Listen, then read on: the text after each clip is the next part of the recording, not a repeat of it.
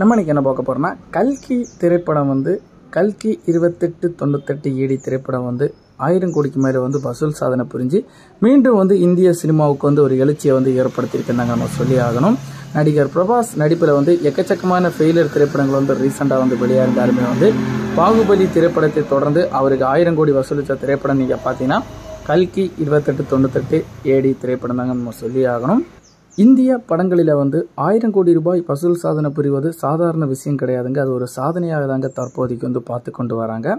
ஏற்கனவே நீங்கள் தெலுங்கு ரீதியில் நீங்கள் பார்த்தீங்கன்னா பல மொழிகளில் வந்து பேன் இண்டியா திரைப்படமாக வெளியான பாகுபலி டூ மற்றும் ஆர்ஆர்ஆர் ட்ரிபிள் ஆர் திரைப்படம் வந்து ஆயிரம் கோடிக்கு மேலே வந்து வசூல் சாதனை செஞ்சு சாதனை படத்திலிருந்து உங்கள் எல்லாருக்குமே தெரியும். அது மட்டும் இல்லாமல் ஹிந்தியில் வெளியான பதான் மற்றும் ஜவான் திரைப்படம் வந்து ஷாருக் கான் நடிப்பிலும் கன்னட படமான கேஜிஎஃப் யாஸ்த் நடிப்பில் வந்து கேஜிஎஃப் டூ திரைப்படம் வந்து ஆயிரம் கோடிக்கு மேலே வந்து வசூல் சாதனை வந்து புரிஞ்சிருந்த முன்னதாக வந்து தற்போது அந்த வரிசையில் வந்து நடிகர் பிரபாஸ் நடிப்பில் வெளியான கல்கி இருபத்தெட்டு ஏடி திரைப்படமும் வந்து ஆயிரம் கோடிக்கு மேலே வந்து வசூல் சாதனை புரிஞ்சிருக்கிறது குறிப்பிடத்தக்கதுங்க.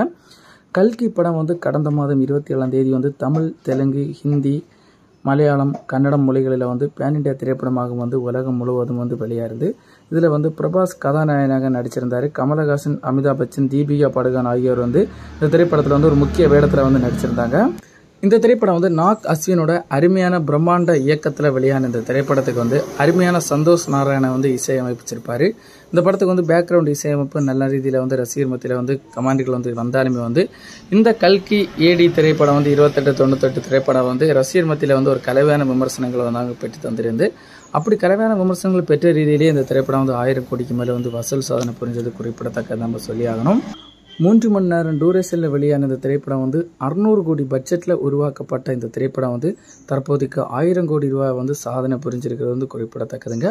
படம் வெளியாகி கிட்டத்தட்ட பதினேழு நாட்களில் வந்து இந்த திரைப்படம் வந்து ஆயிரம் கோடி வசூல் சாதனை படிச்சிருக்கிறது வந்து குறிப்பிடத்தக்கதுன்னு சொல்லி ஆகணும் தெலுங்கில் வந்து ஆயிரம் கோடி வசூலித்த மூன்றாவது படம் என்ற சாதனையை வந்து கல்கி இருபத்தெட்டு தொண்ணூத்தெட்டு ஏடி படம் வந்து நிகழ்த்தியிருக்குன்னே சொல்லி ஆகணுங்க தற்போதைக்கு வந்து பிரபாஸ் நடிப்பில் வெளியான கல்கி இருபத்தெட்டு தொண்ணூத்தெட்டு ஏடி திரைப்படம் வந்து ஆயிரம் கோடிக்கு மேலே வந்து வசூல் சாதனை புரிஞ்சிருக்கிறது. வந்து தெலுங்கு திரையுலகினருக்கு வந்து ஒரு உற்சாகத்தை வந்து ஏற்படுத்தி இருக்குன்னாங்க நம்ம சொல்லி ஆகணும். அறுநூறு கோடி பட்ஜெட்டில் உருவான கல்கி திரைப்படம் வந்து மீண்டும் வந்து கல்கி இருபத்தெட்டு தொண்ணூத்தெட்டு ஏழு திரைப்படத்தோட செகண்ட் பார்ட் வந்து வெளியாக இருப்பதாக வந்து முன்னதாக வந்து ஆரம்பிச்சிருந்தாங்க இந்த திரைப்படம் வந்து பிப்ரவரி மாதம் ரெண்டாயிரத்தி இருபத்தாறாம் ஆண்டை வந்து அதிகபூர்வமாக வந்து பிரபாஸ் டுவெண்ட்டி ஒன் அப்படின்னு சொல்கிற தலைப்பில் வந்து வெளியாக இருந்துங்க.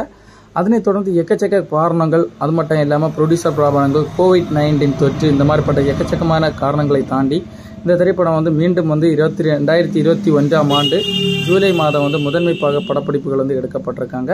அதனைத் தொடர்ந்து ரெண்டாயிரத்தி இருபத்தி ரெண்டாம் ஆண்டு இந்த திரைப்படத்தோட ஷூட்டிங் வந்து ஆரம்பிக்கப்பட்டு ரெண்டாயிரத்தி இருபத்தி மூன்றாம் ஆண்டு மற்றும் ரெண்டாயிரத்தி இருபத்தி நான்காம் ஆண்டு மே மாத இறுதியில் வந்து இந்த திரைப்படம் வந்து வெளியாக இருந்ததாக சொல்லப்பட்டு இந்த திரைப்படம் வந்து தற்போதைக்கு ஜூலை மாதம் வந்து வெளியாக இருக்குதுங்க.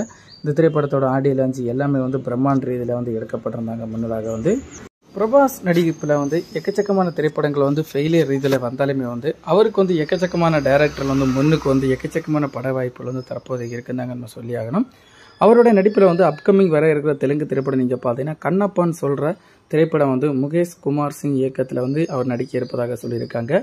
தி ராஜா சாப் அப்படின்னு சொல்கிற மருது அப்படின்னு சொல்கிற டேரக்டர் இயக்க இருக்க திரைப்படம் இருக்கிறாங்க ஸ்பிரிட் அப்படின்னு சொல்கிற திரைப்படம் வந்து சண்டீப் ரெட்டி வங்கா இயக்கத்தில் நடிக்க இருப்பதாக சொல்லியிருக்காங்க. சண்டீப் ரெட்டி வங்கா இயக்கத்தில் வந்து உங்களுக்கு இதுக்கு முன்னாடி தெரியும் அனிமல் திரைப்படம் வந்து இயக்கியிருந்தார்.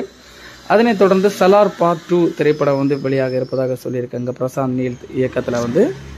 எக்கச்சக்கமான ஃப்ளாப் திரைப்படங்கள் வந்து கொடுத்தாலுமே வந்து விஜய் தேவர்கொண்டான் மற்றும் பிரபாஸ் அவங்களுக்கு வந்து எக்கச்சக்கமான பட வாய்ப்புகள் வந்து தற்போதைக்கு இருக்கிறது வந்து குறிப்பிடத்தக்கது நம்ம சொல்லி ஆகணுங்க இவரோட அப்கமிங் ஃபியூச்சர் எப்படி இருக்க போது நம்ம வெயிட் பண்ணி பார்த்ததாங்க தெரியும்.